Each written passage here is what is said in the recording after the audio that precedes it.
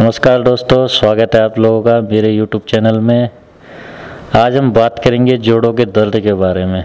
एक certain age के बाद हमारे जोड़ों में दर्द होना शुरू हो जाता है।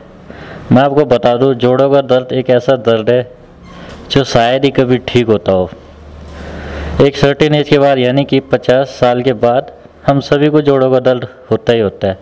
और मैं ये ज़रूर कहना चाहूँगा कि ये दर्द ऐसा कोई नहीं है जिसको नहीं हो।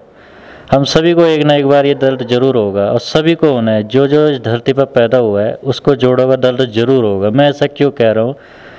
इसकी सच्चाई हमारे जीवन के शुरुआत में ही छिपी हुई है। जब हम भ्रूणावस्था में होते हैं तो हमारी बॉडी में जो अस्थि मंजर होता है, जो स्केलेटल होता है, वो एक बोन का ना होके कार्टिलेज का बना होता है।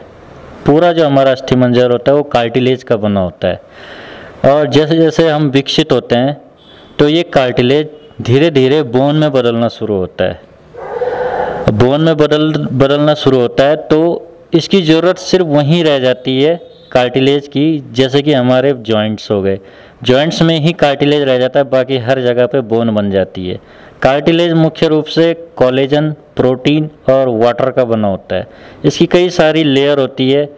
इसकी वजह से काफ़ी ज़्यादा मज़बूत होता है। जैसे कि मैंने कहा, हमारा अस्थि मंजर पहले कार्टिलेज का बना होता है। धीरे धीरे वही कार्टिलेज अब बोन में बदलना शुरू होता है। और हमें कार्टिलेज की ज़रूरत सिर्फ़ हमारे जोड़ों पर ही पड़ती है, क्योंकि हम यहीं से अपना मूवमेंट करते हैं।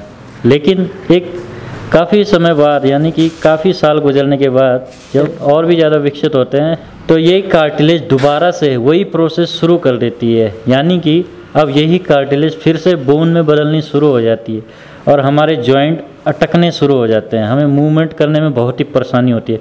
और यही कारण है कि हमें जॉइंट पेन होता है और ये कभी भी ठीक नहीं होता है। इसके लिए हम तरी तरीके की मेडिसिन लेते हैं, ताकि हम पेन को रिड्यूस कर सकें। लेकिन मैं फिर भी इतना कहना चाहूँगा कि ये कभी भी ठीक नहीं होता है। नी रिप्लेसमेंट करना पड़ जाता है, काफ़ी कुछ करना पड़ जाता है, लेकिन फिर भी मैं ये कहूँगा, जो चीज़ प्राकृतिक है बोन का बनना, वो तो सभी को होगा ही होगा। इस वीडियो को लाइक करें सब्सक्राइब करें, और साथ ही साथ इस वीडियो को शेयर ज़रूर करें।